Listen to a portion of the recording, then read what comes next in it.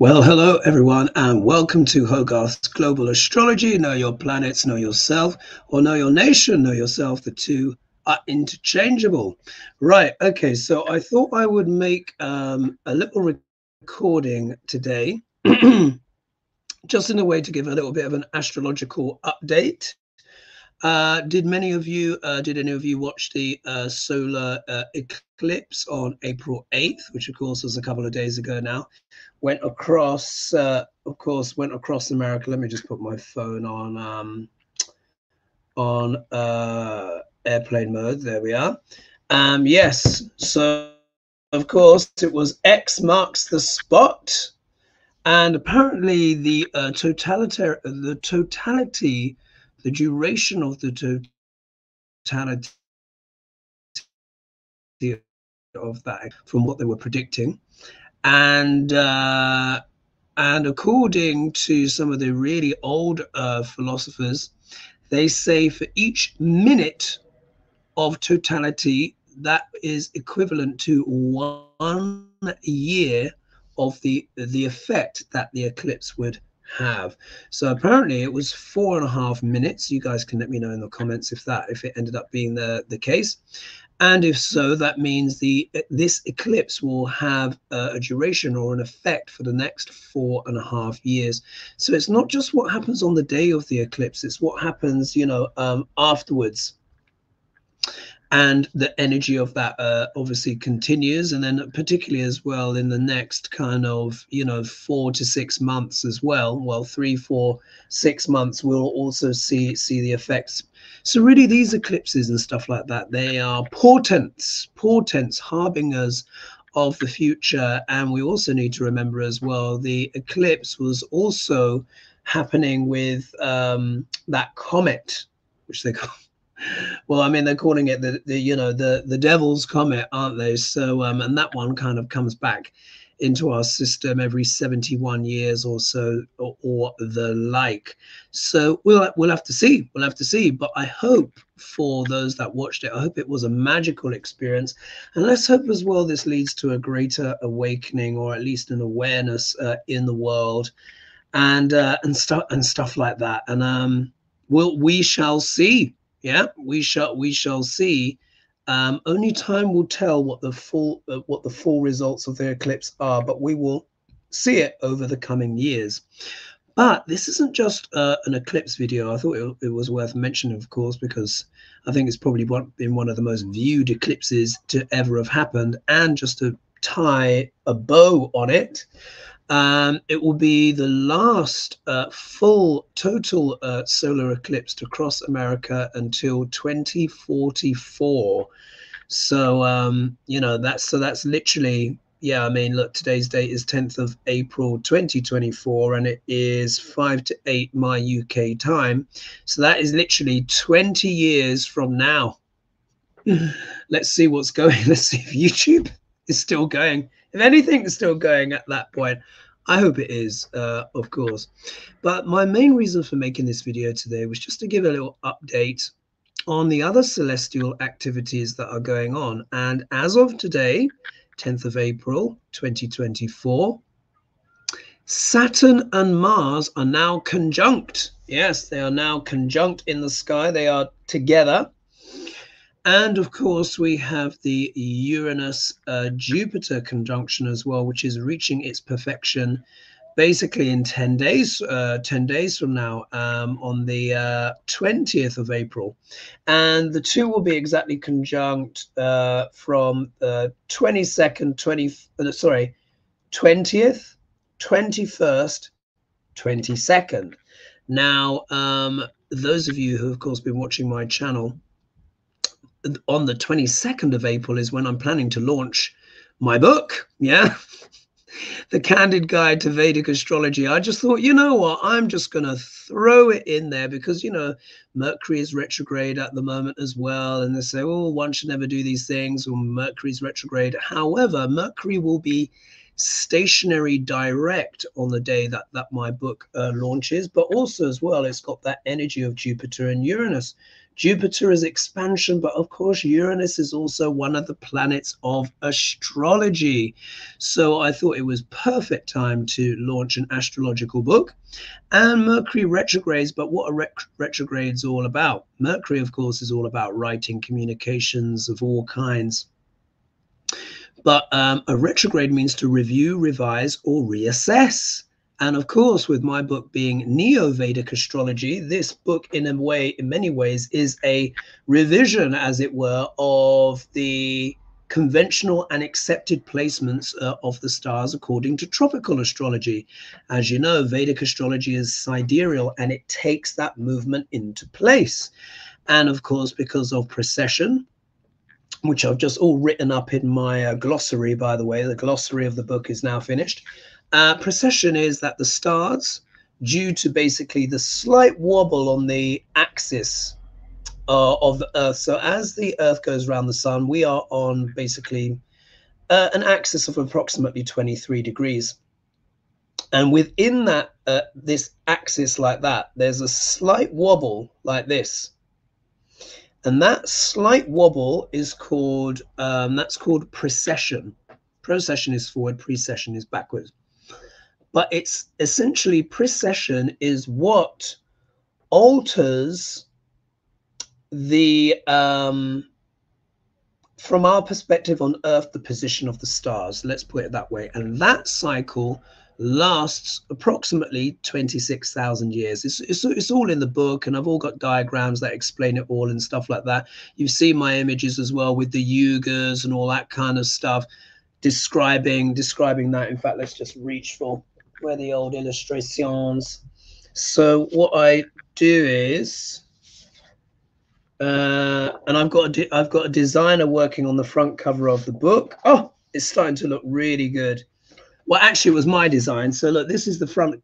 That's the front cover design. Obviously, she's going to put in the the designer's going to put in the text and stuff like that. But I got her to kind of basically uh, create that template because it's something very very new, you can unique and different.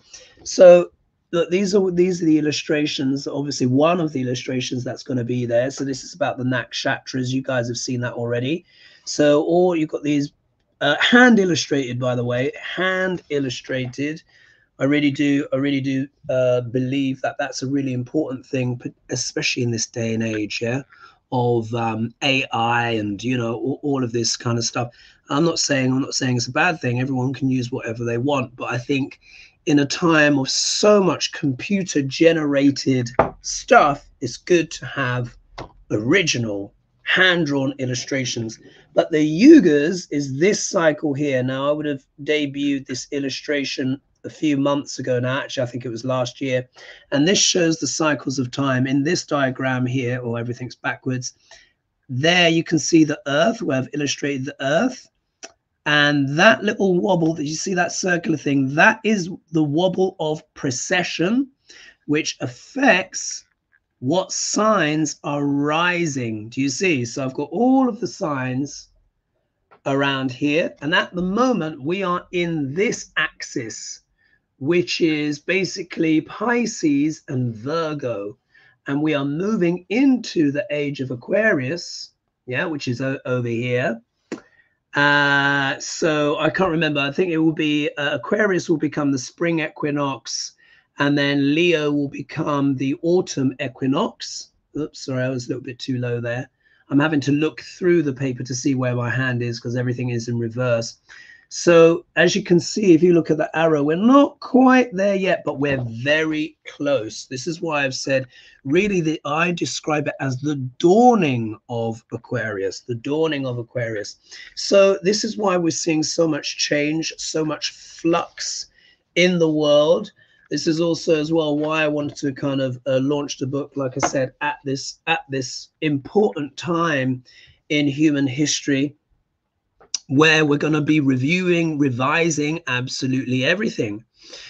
Also, as well, I wasn't actually planning to talk about this much about the eclipse, and I will get onto Mars, uh, uh, Saturn, and Uranus, Jupiter in a minute, but certain things are being triggered in the memory. Uh, this eclipse as well also is uh, the sort of like the first new moon of the um, celestial year.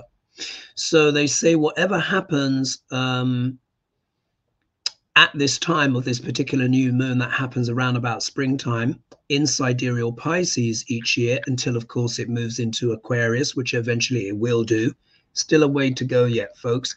Um, that will kind of symbolize the whole the whole year. So everything kind of leading up to the eclipse and just after the eclipse this will be sort of symbolic of what of what a lot of the year will entail uh, as a whole. So I think you know 2024, as I've said, is going to be very eventful. It's already been very eventful already.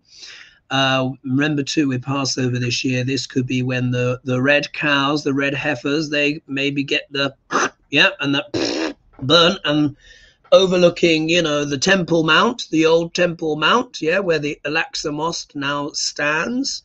And this will be happening from the Mount of Olives. So I, for me, I think that is going to be very, very eventful. I can't go into the full details of what I think will potentially happen, but um, it wouldn't surprise me if something happened with the uh, and something like that, where it could be maybe there's an act of God that could happen. Let's just that's that's my but that's my little speculation and that's my little inkling, my little thing, and I I'll, we'll, we'll just keep it between us. Let's just see what happens. I hope it passes without uh, event actually, but everything happens for a reason, you know. Everything happens for a reason, and they've those cows that they've had delivered from uh, Texas, they they need to have their moment soon because they can't they can't reach the age of four.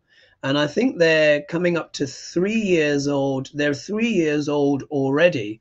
So there's there's a, a narrowing time window and i think logic tells me that passover is the most logical time to do it and of course it also coincides coincides with the Jupiter Uranus uh, conjunction. Whether they waited for that particular conjunction as well, I don't know, but I find the timing very interesting. So what I'm going to do is I'm going to share my screen with you, and let's talk about let's talk about the Saturn Mars conjunction, so we can see what that potentially uh, means. Now, this conjunction is not a super rare one. It happens once every couple of years. Uh, so let's just do that. Let's get this bit done here. Drink a little bit of water. So it's not a rare conjunction. Why? Main reason why is is that Mars only takes a couple of years to go through the zodiac. Yeah, so you can imagine Mars is you know whiz, whizzing around, uh, do, doing uh, doing his thing. I wonder if you can actually. Let me just make sure you can actually see me. Oh, there you go. Perfect. Uh, let's um, let's just go like this. Uh, come on. There we are. Let's just get that to come down a bit.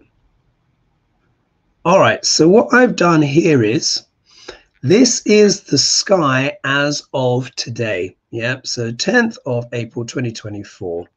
And this chart was cast at uh, 24 minutes past 7 p.m. UK time. So this is where the planets are right now. As you can see, Pluto is now direct in sidereal Capricorn. Yes, as you've heard me repeat ad nauseum, but just to cover that ground, because obviously many there are many of you that are new subscribers, and of course most of us here have, have been brought up in the Western tradition. Uh, but with uh, Vedic, and this is also why I'm publishing the book as well. So we have precession, which is basically the stars are slowly moving backwards by one degree every 71 slash 72 years. They don't wait until the 70 odd year. They just slowly moving backwards and that's called precession and that's what i showed in that diagram there and it's also in the glossary of my book and well described in the book as well. So once people start reading this book everyone is gonna who reads it is now going to understand about precession which is physics. This is true physics and this is what determines that that slow movement of the rising signs of the spring equinox which has just been going on since you know, probably for billions of years. Uh, I mean, really, uh, it's been uh, for a long time. So uh, now, of course, uh, with Western astrology, because they don't take into account precession, obviously Western astrology still works, but they don't take precession into account. So they are 24 degrees ahead of the true placements. So um, the Western astrologers are talking about Pluto being in Aquarius. Yeah. But as you can see here, is at seven degrees and 47 minutes of sidereal Capricorn, which is also the uh, which is the Pluto return that's happening in all of America. Yeah. And it, you know, it became precise uh, in February. So now it's crossed over itself. So this process, remember, Pluto's orbit is between 244 to 248 years. So you can round it up, you know, to like 250, you know, uh, pretty much. And of course, America is about 250 years old and it is having this Pluto return. And this is why we're seeing such volcanic, tumultuous, and extraordinary events happening in politics, not just in America, but of course, the whole world. Now, with the UK, now, what we need to remember is, again, I wasn't planning to talk about the Pluto thing, but you know, in a way, it kind of makes sense, has to be discussed. So you can imagine when America declared independence, so it's returned back to itself in the in the Declaration of Independence chart, which most uh, Vedic astrologers use, some Western do as well, but uh, uh, definitely uh, Vedic astrologers use the um, 6:30 p.m. July 4th, 1776, Philadelphia. Yeah, it works amazing. So Pluto has returned in terms of that chart, but it's going to move over all of those positions, etc. Look what's happened in that time. Now you can imagine for Britain, for the UK, that was also a very difficult plutonic experience because, of course, that was the colony at that time of America declaring itself independent from Britain. And the irony is now, of course, is that America, quite rightly for its for its reasons, declared itself independent so it could be a sovereign country and no longer under the rule of kings. And yet there's a deep irony, which is that almost the best part of 250 years later, we have someone running for the presidency that wishes to be a king and is almost being exalted by his followers as a king, and those people are longing to be ruled by him. Isn't that interesting? Do you see? Because this is how these returns work, uh, whether it's happening in because it's a Saturn return, which we got our first one around about age 29 second one around about you know you know 58 59 60 and then by the time we come to our third uh, saturn return which is our late 80s early 90s we're like take me god take me now ready to go. Yeah? So whenever a planet returns back to itself there's always a review a revision a reassessment in terms of that area of life. Yeah what we're focusing on, uh, what's most important to us. There's a reevaluation. So, of course, for America in the USA chart, Pluto is returning in the second house because actually America has um, a, a, Sagittarius rising ascendant according to Vedic astrology. I think they might have it in the Western as well, but different degree. But anyway, in Western tropical, I'm sorry, in sidereal is definitely Sagittarius, which puts the Pluto return in the second house. The second house is all about money, resources of all kinds, education, food, agriculture, family, and values. Yeah, values. So in a way, this is very pertinent, isn't it? Really, because this this Pluto return is asking America and Americans as a collective, what are your values? While at the same time, it's because it's Pluto and Pluto is Hades, god of the underworld. It is dredging everything up from the depths, from the dark. And Pluto always does this, and this is part of, of, of a Pluto transit. This is what Pluto does. Whatever sign he's in, all of the things, all the associations, the things connected with that sign, uh, you know, the the corruption or the shadow uh, of that becomes exposed. Yeah, in earlier years, when uh, when Pluto uh, was in Sagittarius, Sagittarius deals with what? Uh, religion, yeah, spirituality, even fanaticism, you know, stuff like that. So if we think of what was happening, you know, back in those days, you know, that's when we were always like the war on terror. Do you remember Al Qaeda, all of that stuff, uh, the beheadings, yeah, and then of course the scandals, of course, of the of the Catholic Church as well. Let me just check a particular date on something because let me just see when. Uh, I just want to see, just to give you an example. Um, one minute. If we look here, I'm going to put here when did yeah when did not Damban, yes. So let's see. Yes, yeah, just just as I thought, just as I thought. So if I'm going to show you here something very significant, so you can see, like, I'm going to show you two very important dates, two very important dates. Forgive my digression here. I'm having a leaner digression. uh, how am I doing on on time? I can't say how, how I'm doing on time, but anyway, let, let me just see how am I doing. How am I doing on time? All right, it's not too bad. I want I want this video to be less than an hour. Anyway, but let's jump in the time machine and I'm going to go to animated transits and I want to show you how pertinent this stuff is. So we're going to go back in time. So when um, when planets leave signs and enter signs, that can often be the times when dramatic things happen. As you've always heard me saying, planets are declamatory in the sense they proclaim uh, their entrance or their leaving of, of, of something, often with very big symbolic things. And this also as well highlights as well uh, why, you know, why I'm always banging on about sidereal astrology. Because when I show you these two things, it's going to make a lot of sense.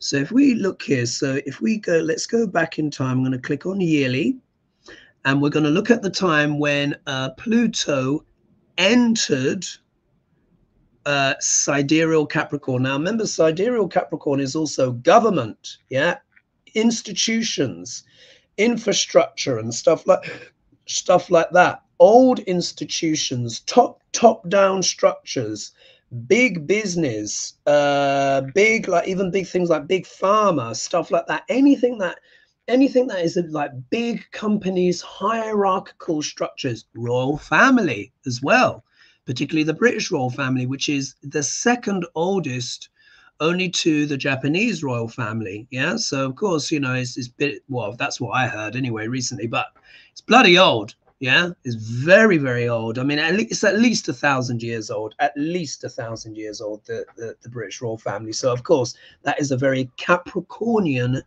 institution, of course, with very strict hierarchy and top-down structure. Yeah, makes sense, doesn't it? So, but anyway, so so if we look here, so let's do let's do yearly, and let's just go back in time, and let's go back to 2021. Now, obviously, look, keep keep an eye down here on Pluto. Yeah, uh, and there we are, and let's do monthly. Now, keep your eye on Pluto. Pluto. Oh no, look at this. Look at this.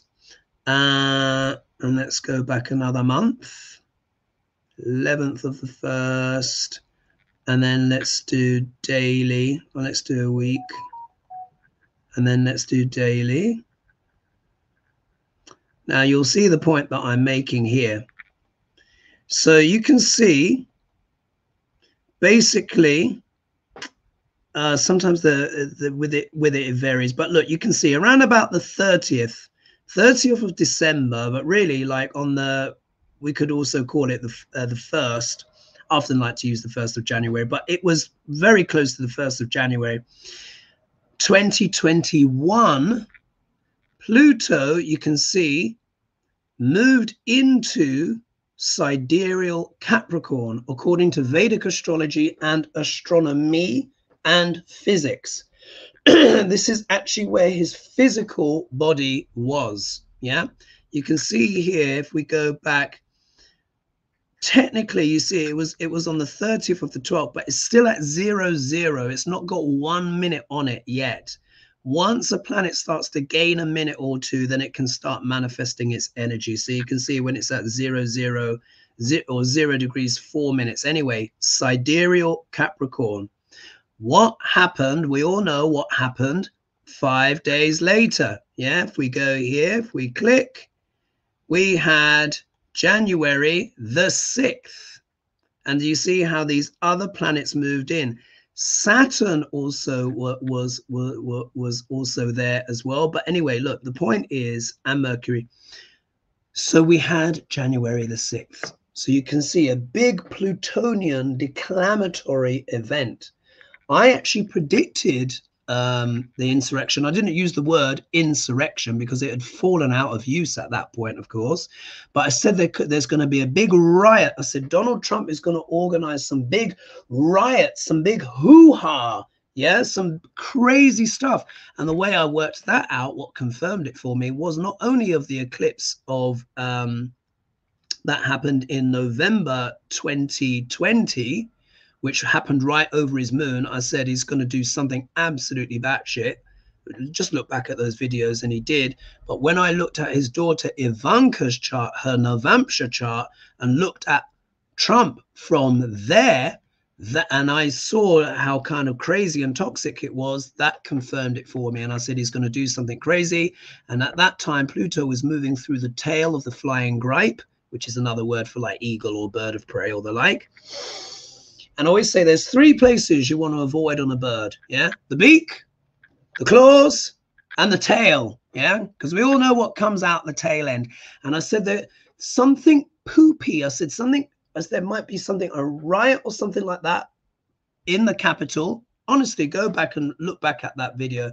I think it's like the um November. It would have been a video from November 2021 when I was looking at the eclipses and talking about the eclipses that will happen on Trump. And I think it was my Christmas prediction, uh, 20, what am I talking about? November 2020, the eclipse of November 2020, and my Christmas video of of the big stellium that was at that time in Sagittarius in Chris around Christmas of 2020. And then I said in 2021 once Pluto moves in, then we could see something kind of like crazy. And it did. I thought it would take a couple of weeks. It only took five days. Yeah. Or, or, or over a week if you count the zero zero minutes when Pluto was in there. So there's that. But I want to show you another important day. What what can happen when a planet is near the end of a house?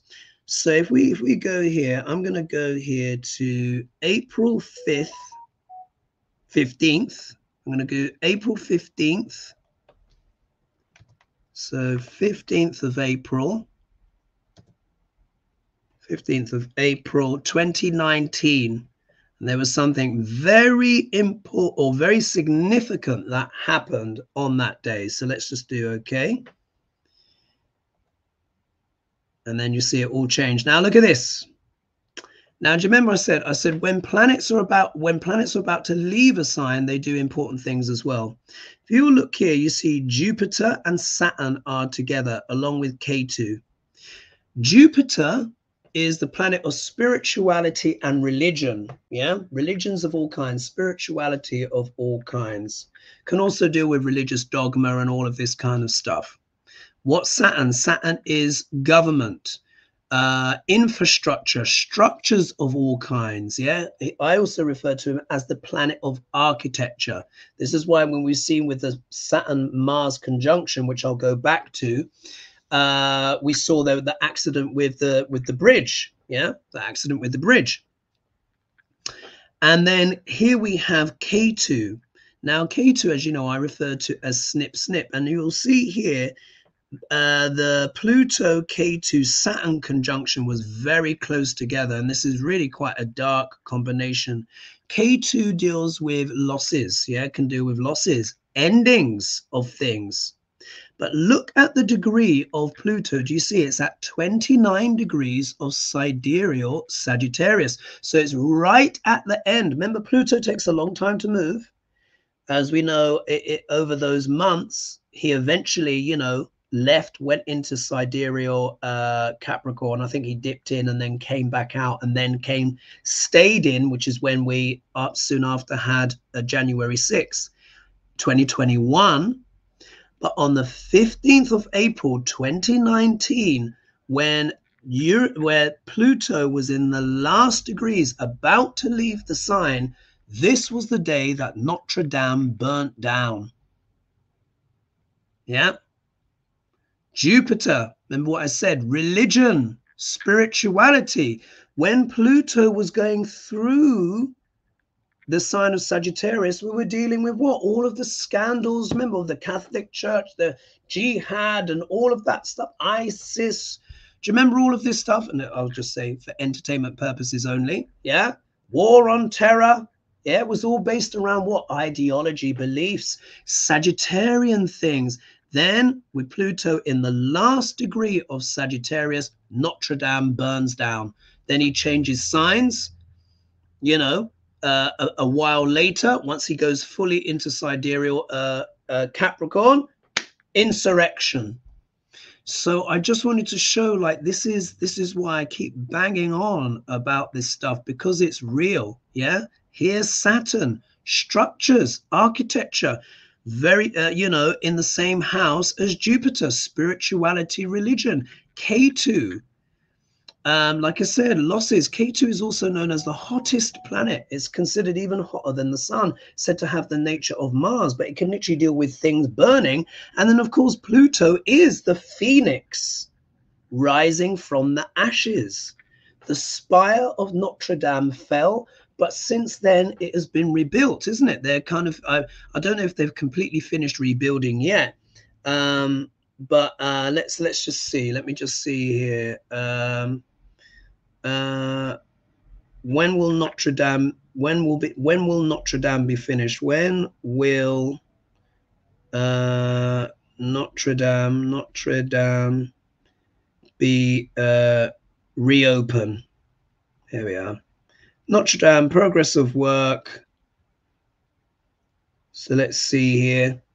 So you guys can see, you know, with the camera. I probably should probably share that on the thingamajig. But they're they're they're re they're rebuilding it.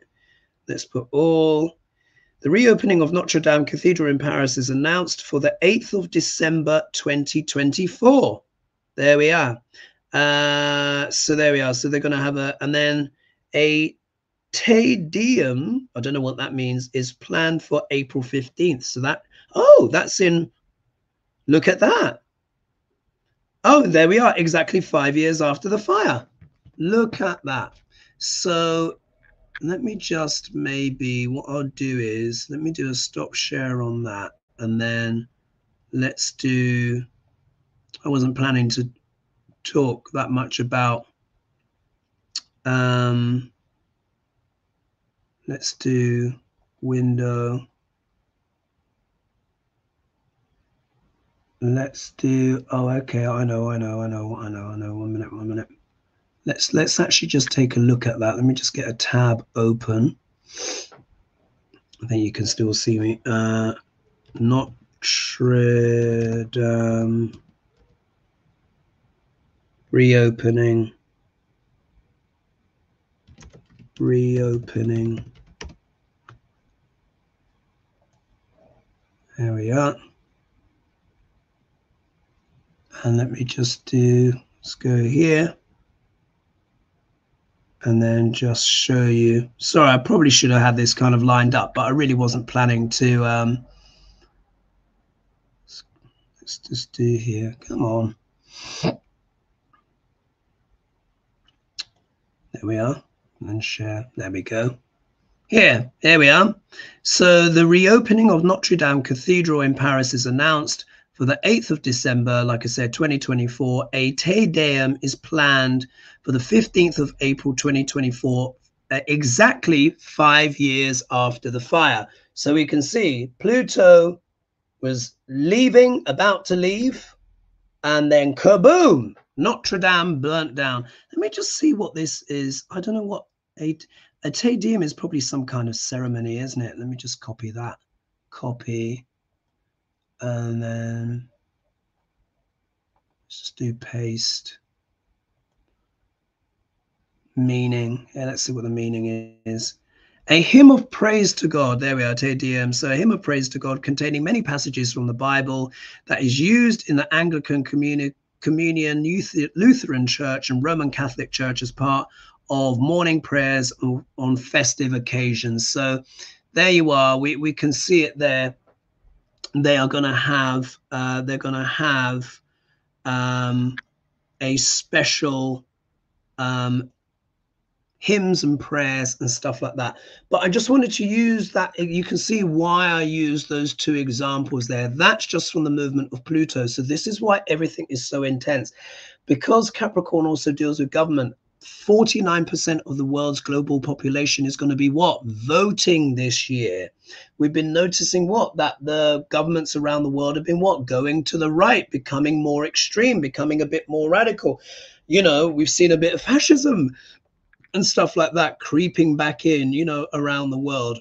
Autocracies, dictators uh, wanting to come to the fore. We all know what Duc L'Orange's intentions are, huh? We all know you know he's made his made his sentiments clear. Does that mean dictatorship is going to take over the whole world? No not necessarily but bloody hell take a look. At, uh, because this is why i'm going to these lengths. And why i keep you know repeating this so it just so that it sinks in because I've shown you those dates there and you can see for yourself the positions of where Pluto is. Pluto will always show what is the most extreme that is going on. This is why I also say as well, when it comes to the age of Aquarius and everyone wanting it wanting it to arrive, be careful what you wish for. Yeah. You know, I think we should take our time before we get into that age of Aquarius energy full, full time because we need to fix the issues that's going on right now because we see how global autocracy, I mean, if we think of the Hoover, you know, which is a W and an H and an O, you know, and I call it the Hoover so I can say it without too much yeah, censorship going on for entertainment purposes only. Uh, they're doing basically a power grab and all of this kind of stuff. So while we're being distracted by many things, there's a lot going on. But also as well, Pluto ushers in what? Transformation yeah, transformation, alchemy. We're seeing a lot of transformation happen, aren't we, right now? With what? The royal family. Look what's been happening with the with the uh, Princess Catherine saga. Yeah, that was triggered by the lunar eclipse, which of course was happened a few weeks few weeks ago. Now we've just had the solar eclipse. Look at that. But again, the royal family, old institutions, hierarchies, Pluto bringing you know, some maybe some unpleasant stuff up. Let's not forget, Pluto is also the planet of crisis and near death experiences. You know, sadly, we have King Charles and uh, Princess Catherine both struggling with cancer. And I wish them a speedy recovery as well. And I really hope that they're going to make it. But you see now how it all starts to dovetail together it all starts to make sense doesn't it? When when we start reading uh, the planets and what they're doing from the sidereal placements with the manifestations in the world become abundantly clear. So i just wanted to share that. Now i know that i'm preaching to the choir and you guys have heard all of this stuff before most of you but many of you are new subscribers and welcome of course. Um but it's also as well i just want to lay those foundations as well so when the book's out there it will all make sense. You will have this reference point where you can then look at your own life as well and the life of your loved ones or anyone close or influential in your life. And then you can start looking at from that perspective and the nakshatras, you'll be learning about them. It's not a complete full book on the nakshatras, but there are more detailed descriptions in the glossary of, of, of the book of all 27 of them. We're going to learn more about the fixed royal stars as well, the Persian royal stars. Uh, which are connected with with uh, with archangels as well. So you have Aldebaran, the star of spring, Archangel Michael. You got Regulus, which so many of you uh, that come to me for consultations or just in general in life have planets conjunct that star. Regulus is the star of summer. Uh, the energy, uh, the archangel of that is said to be Raphael. Then you have um, Antares, uh, and uh, who's uh, seen as the guardian. Um, oh gosh, so Regulus is also the guardian or the watcher of the north. Yeah. Then we get to Antares, which is the star of autumn or fall, also a warlike star associated with Archangel Uriel. Yeah. And then finally, you've got Fomalhaut, um, the fourth Persian royal star, the guardian of the south. And this is um, associated with Archangel Gabriel yeah and you know and it's the star of winter. So all of this stuff is is in the books. I mean this is why for example with where is it? Here we are. Going back to this illustration here you see these big stars that i've put here? These are all the royal stars and i put their banners. That's of course the earth in the middle showing precession again and stuff like that. So it will all make sense so that you know, we can then start looking at global events because we need to fix the issues that we have with a lot of the corporate world and what? And billionaires yeah? Pluto deals with plutocracies billionaires you know stuff like that. Small a very small amount of people having a tremendous amount of power just like the nuclear bomb yeah? So we need to resolve these things before we get into that age because yes, Aquarius can be wonderful, but the shadow of Aquarius is dystopia. Uh, the shadow of Aquarius is technology run rampant. The shadow of Aquarius is like things like you see in the Terminator. Yeah. And you got a lot of crazy people that want to make that real as well. So we need to change all of that first, alchemize all of that first.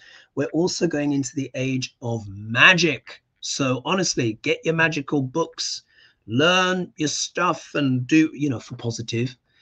Try not to dabble in the black magic if you can. the positive magic.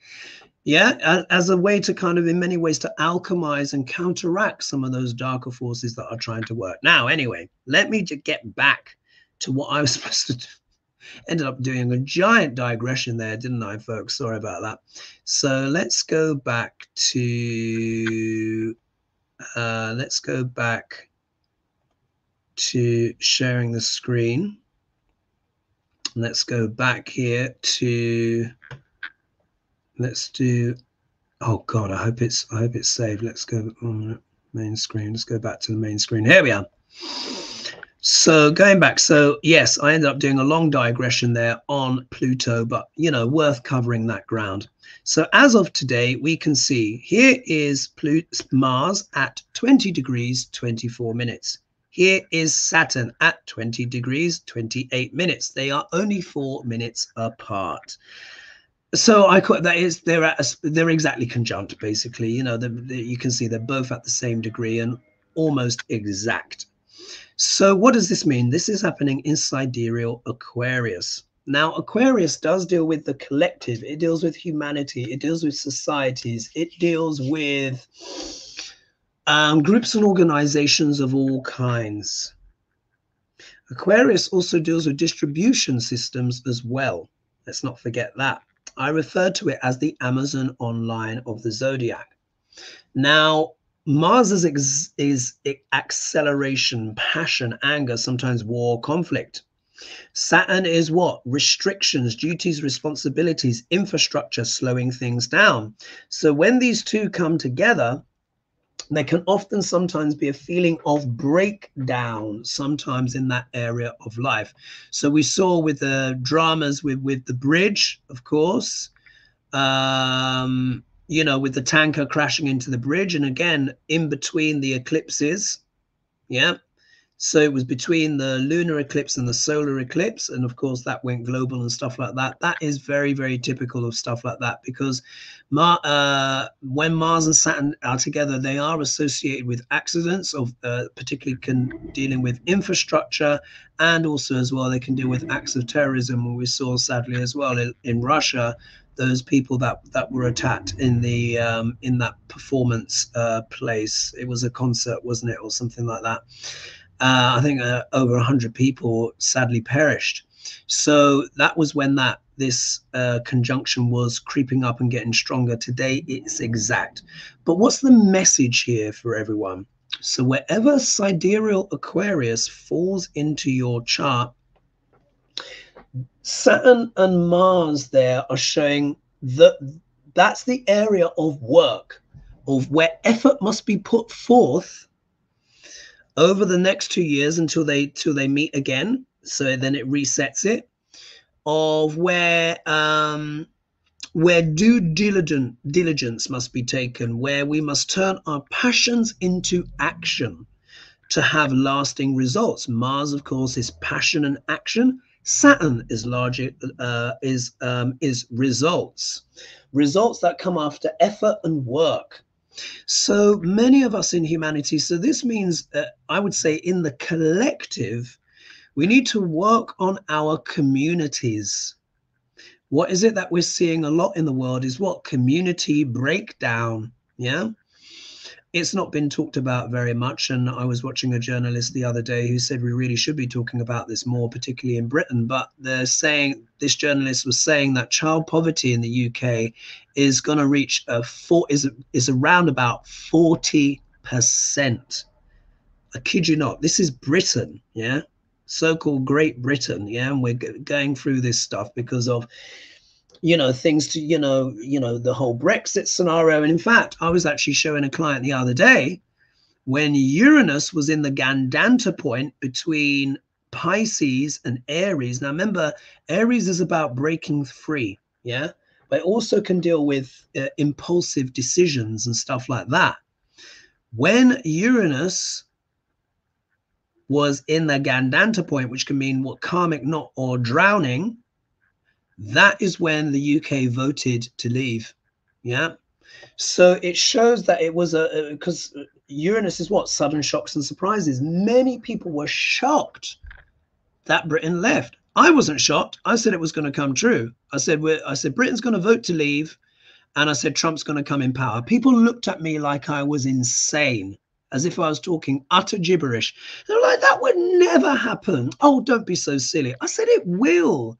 I said it will happen. I said Britain is gonna is gonna vote to leave and Trump's gonna get into power. Yeah. All happened, and all those people were just like, you were right. Yeah. This was before I was even even before my YouTube and stuff like that. Just on the psychic instinctive level, I, I just knew. I just knew it was gonna happen. So the big the outer planets are a big deal. They do affect a lot of society, but also personally as well. In Vedic astrology, traditional Vedic astrology, they're not counted, uh, but I count them. So I include Uranus, Neptune, Pluto, Ceres, and Chiron. Why? Because they're too important to leave out because they make a lot of stuff happen. So, this is where society has to fix itself. Humanity has to fix itself. Infrastructure and stuff is breaking down. A lot of societies uh, are uh, breaking down. There's a lot of political discord around the world, isn't it? I'm sure we can all agree about that. But with this conjunction with uh, Saturn and Mars, this is showing where where we can get results if we put the work in. So we need to come together and we need to fix our communities. We need to stop um, being too swayed by these billionaires or these uh, superstructures that are trying to what control everything control everyone. Let's not forget, Saturn in his own signs is very powerful. Saturn does deal with uh, governments and it can bring out his more dictatorial side. So, what this could also show is is that you know there could be governments or organizations that are going to put a lot of energy and passion into trying what to control everyone but we can take it round the other way and go no we're going to be a collective and we're going to support and love each other see both can be true at the same time so wherever this is happening in your life or in your chart so, uh, you know, depending on your ascendant, that will be where you have to fix something, rejig uh, something, you know, um, you know, uh, uh, recalibrate, improve, improve that area. I'm a Cancer ascendant, so for Cancer ascendants, this is happening in the eighth house. So the eighth house deals with what? Transformation, tarot, alchemy, magic you know, the positive sides. And it also deals with astrology as well. What am I doing to try and help fix fix things? I'm launching my book very soon. Yeah. And when I just think of the timing, I'm like, oh my God, yeah, it's happening in my eighth house. This is how I'm going to contribute to the collective to try and help the collective so we can recalibrate and all start rowing in the same direction. So, and you can take that approach as well. So, even, uh, even though it is, it is a tricky combination, when you get these malefics together, they are asking us, what work are you prepared to do for the collective? Because in this instance, they are happening in Aquarius, the sign of humanity. All right, let's look at the Jupiter Uranus conjunction. So you can see this is warming up nicely. Now, this is going to become um, exact, like I said, on the 20th of April for three days. Yeah. So the 20th, 21st, 22nd, yeah? With the 22nd being Passover, and like I said, I mentioned the cows, yeah? So what does this mean? Jupiter deals with expansion of all kinds, but it's also passionate as well, very passionate. Deals with spirituality and religion of all kinds, but the shadow of Jupiter can also deal with fanaticism, yeah, and religious zealots. Let's not forget that. What's Uranus? Uranus is sudden shocks and surprises, liberation. Uranus can be very inspiring. It gives visions of the future, deals with technology, can deal with geniuses as well. But what's the shadow of Uranus? The shadow of Uranus can be anarchy. Yeah? Anarchy, destruction, impulsiveness, and strange things, weird stuff just like what happened with the UK, yeah, when Uranus was Gandanta here. You know, Britain voted to leave and did everything against its own interest. And now look, you know, you got these ridiculous, our ridiculous government that has been trying unsuccessfully to make out to everyone that, you know, Brexit has been a massive success. It hasn't. We're now in recession. I mean, this is tragic. You know, the fact that child poverty is now getting close to like 40%, it's like, come on. I well, most people have woken up, but you know anyone who's still hanging on to that illusion you know literally think of the children. Just look uh, just when i just look around people are just looking lost. You know maybe not so much in my particular area here. There's quite a few affluent people that have moved into the area. But just in general when i'm on the tube when i'm out and about people got their heads down. They're just lost in the you know it's just wow. But you know one lives and one learns eh? You know you one can scream from the rooftops as much as like this is a bad idea. It, the collective has a way of moving yeah? But anyway so so uranus does deal with unusual things unusual events. So the, the the the negative of this potentially could be that we could have extreme religious zealotry which is impulsive and wild and weird yeah um, Jupiter also deals with the law and judges and stuff like that. So we could have judges make weird decisions. Yeah. Remember, Duc L'Orange, uh, was it the SCOTUS is going to be proclaiming on Duc L'Orange to see if he's culpable or not. It's not even a question. Yeah. Let's not forget. Rewind. Judges in Washington found him culpable. Very, very senior judges. Amazing uh, judgment that they made that should have been the end of it. Yeah, we all know this, but as you know, I said before, with SCOTUS, yeah, they're trying to help Duck L'Orange. Anyway, So we'll see what they say. Maybe they will surprise us by actually upholding the law and applying it as it should. I hope. That's what I hope for. Yeah.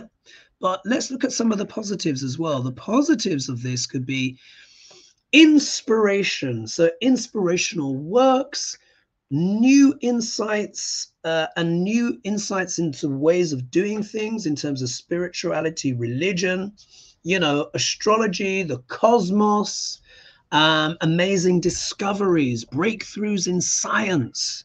This can also happen as well. It's not all going to be bad. Yeah. It will be pioneering new things because look, we see here this is happening in the sign of Aries. Aries, though, is also a sign of war. Let's not forget that. And you will remember, you know, last year when I was saying at the time, I said, look, when Jupiter comes into sidereal Aries, which I think was around about March slash April 2023. Yeah, 2023. I said, we'll have to see. He, he might, if he's being very benefic, he might bring an ending uh, to some wars and stuff, or he could escalate them. And I think we've seen that's obviously been an escalation that's happened here, you know, because he is an expansive planet. However, he will move into sidereal Taurus on the 1st of May. Taurus is a much more peaceful sign than Aries. Yeah, it's ruled by Venus. Venus is the planet of peace. Uh, Aries is ruled by Mars, and Mars is the planet of war. So if we take that kind of rather simplistic breakdown, I think we can hope for at least that Jupiterian expanding of war will uh, kind of come to an end. And we could see huge things happen, though, of course, in the economy. Uh, Taurus deals with money and stuff like that. Uranus will come in on the 1st of June. And as, as you've already heard me say many times, that's where I think global currencies and stuff like that will change. Central digital bank currencies and stuff is happening already. Uh, there is also a big kind of legal case happening with cryptocurrencies as well. XRP, which is going to be uh, one of the uh, counterpoints, as it were, to the SWIFT banking system. That's got some big legal cases. Even Coinbase, which is actually one of the uh, digital uh, currencies exchanges, is also having some legal tangles. And if they make if they make it through those, uh, that will be a brave new world. And this is also what Jupiter is talking about with uh, Uranus conjunction, because Jupiter is also the economy. So this could be the really the next big stage in terms of changes to the global economy, currency, etc., stuff like that. Fiat currencies are going to have to find uh, their a new way you know, because a lot of people are going to be going over to digital. Not everyone, not all at the same time, but I uh, anticipate with this conjunction, this is when it starts to becoming much more mainstream, as you've heard me say before. So there are the challenges there, which is, like I said, uh, the zealotry or um, uh, fanaticism uh, in terms of uh, religious, you know, dogma, stuff like that with radical elements there because of Uranus. But then this is also as well times for innovation, breakthroughs, visions of the future, a brave new world. Yes, could be could be emerging. And uh, this conjunction, how often does it happen? I think it's once every 14 years or something. But you know what? I think I I think when I spoke about it before, I may have got the time wrong the uh, that duration but the last time they were in aries was really quite a long time ago. So we're really aries is also it's not only just war it's also new starts. We've got to remember that. So this is really kind of like a brave new world kind of energies at play with a kind of a breakdown and a reassessment of society uh, here with the saturn mars combination do you see? So all of this happening at the same time, and then look at all these planets here in Pisces.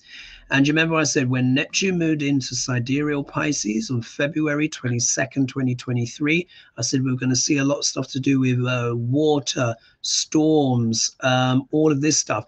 UK with major flooding over here, and we've just had one storm after another for months now. We're now getting deep into April and it's still not very warm. It would, you know, we're well into spring now and it should be warm, sunny days, especially here in the southeast.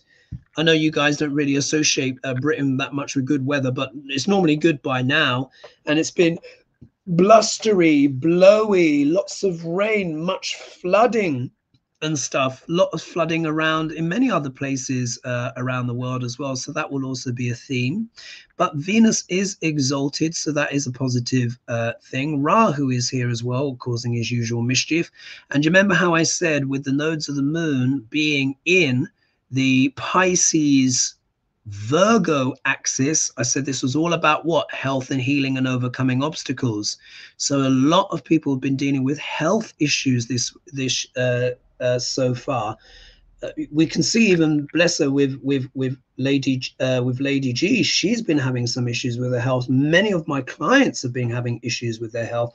I'm trying, you know, do my best to look after my health, but I've had to rejig things and stuff like that. Look at my blood sugar, etc. Everyone's having a bit of a health drama or crisis, or people very close to them. So this is the energy of the nodes as well, and they change signs on the 29th of November 2023.